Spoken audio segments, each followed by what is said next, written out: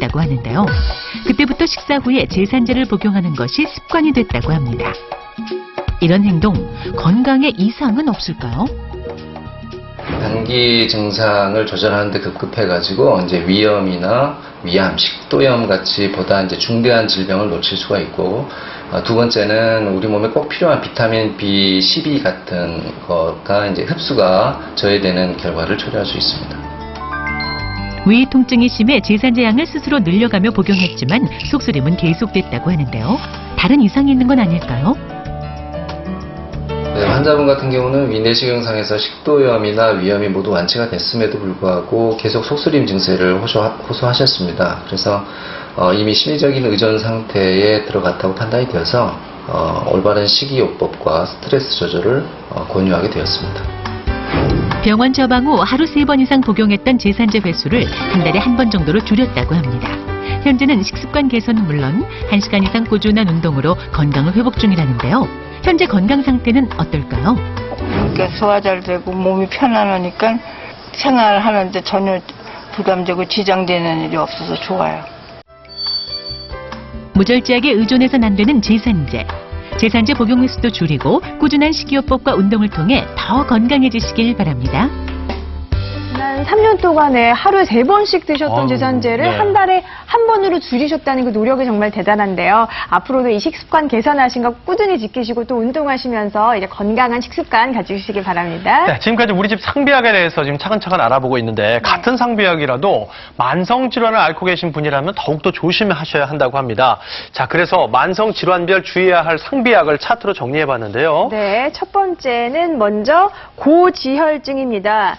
고지혈 증이 있으신 분들 경구 무좀약이라고요. 어, 그러니까 먹는 무좀약이란 얘기죠. 네. 예, 맞습니다. 뭐 고지혈증, 이제 혈관 안에 저 콜레스테롤 같은 게 많이 들어있어 뭐 지질 이상증이라고도 부릅니다만 이런 약을 요즘에 나이 드신 어르신들 많이 드시고 계시죠.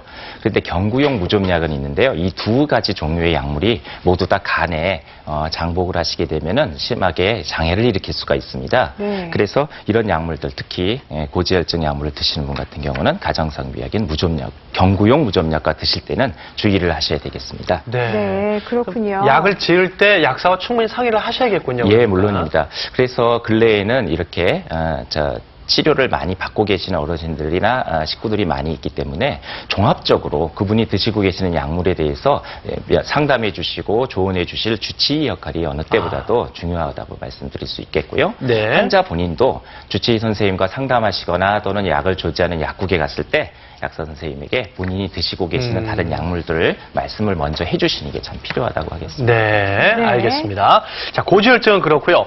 두 번째, 이것도 많습니다. 고혈압을 앓고 계신 분들. 네. 자, 어, 콧물 감기약. 콧물 감기약은 자주 먹는 상비약인데. 그러네요. 감기 걸렸을 때 대부분 이 약은 다들 드시잖아요. 네, 서 교수님. 그렇죠, 맞습니다. 혈압 환자들 중에서도 조절이 아주 안 되거나 굉장히 심한 고혈압 환자의 경우에 콧문약 성분 중에 코 막힘을 호소, 어, 어, 해결해주기 위해서 어, 혈관 수축 성분이 들어있는 경우가 있는데 이런 경우 혈압을 높이거나 또 자칫 남용되면 뇌 출혈까지 유발할 수 있다는 보고가 있어서 그 복용에 신중을 기하셔야 되겠습니다. 그렇군요. 네, 아, 그렇군요. 주의하셔야겠습니다. 네. 자, 세 번째 만성 질환은 위궤양인데요. 해열 진통제를 드실 때는 각별히 주의하셔야 하는군요.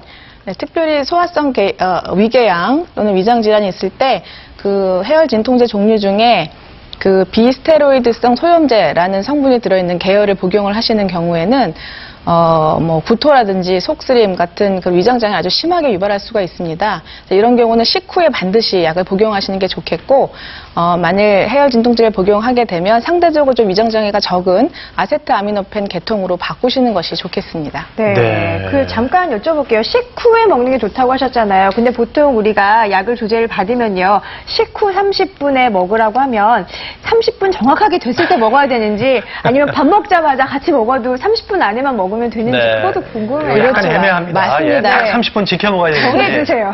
네. 사실은 그 식후 30분이라는 말이 사실은 그 뭐 우리가 약이랑 음식 먹는 시간을 연관시켜서 꼭 잊지 말으라는 그런 어떤 강조를 위해서 나온 말이지 사실 의학적인 근거가 딱 있는 건 아니거든요. 실제로 식사와 관계없는 약도 있고요. 식사와 함께 하셔야 되는 약들도 음. 있기 때문에 네. 어, 사실 대부분의 약은 이론적으로는 그 빈속에 먹는 것이 가장